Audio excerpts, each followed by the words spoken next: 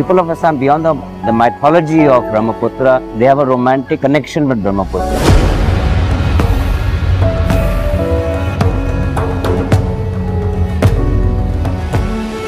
There is one very nice line which is the Mahabahu Brahmaputra, Mahamilanor Tirtha.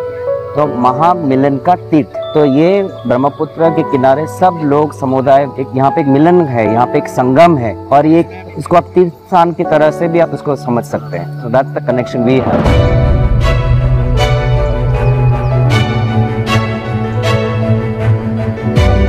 your chief minister's corruption. What is the, the main thrust of his corruption these days? अभी PW minister chief minister है खुद chief minister. जो budget है सब budget PW को दे देता है PW को दे देता है और हर एक काम में टेन परसेंट पहले ले लेता है काम टेन परसेंट दो इसके बाद अलॉटमेंट होगा नहीं काम नहीं अलॉटमेंट होगा तो उसका वाइफ के गाँव में तो बहुत बड़ा एक प्राइवेट स्कूल भी है करप्शन माने रैमडम करप्शन चल रहा है one major issue that everybody is talking about is rampant corruption. Corruption has just increased a lot, and at the time of high inflation, high unemployment, this is really bugging the people. The government is trying to soothe the uh, people's tempers by giving some small uh, financial uh, donations or financial schemes. The fact is that people are seeing that the that the BJP government here in power, the, the kind of corruption, a chief minister who is uh, in charge of the PWD department and is just using road projects and flyover projects to just enrich and a family who is just so blatantly acquiring land, estate. Everybody, every nook and corner, people they know that the family, especially the wife, is just acquiring this mass property. So there's a lot of frustration there. I'm Sarkar, sir.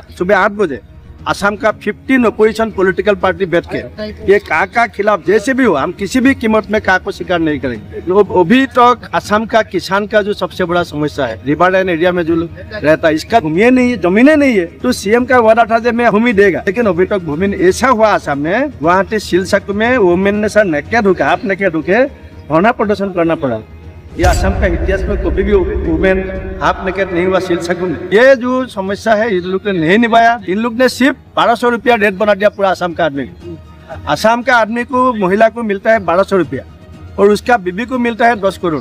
Guwahati airport का नज़दीक में छीन लिया। वो कितना पस, कितना ज़मीन लिया सीलिंग सरप्लस लैंड है जो सीलिंग सरप्लस लैंड वो ज़मीन होता है जिसका हाथ में लैंड नहीं है उसको देने के लिए। वो गवर्नमेंट रूल में लिखा है।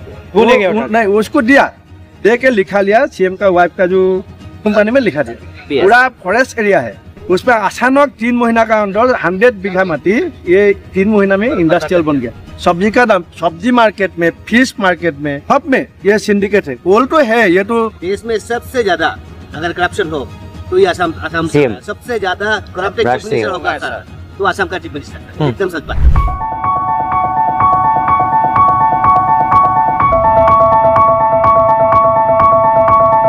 कितने चक्कर लगते हैं आपके दिन में?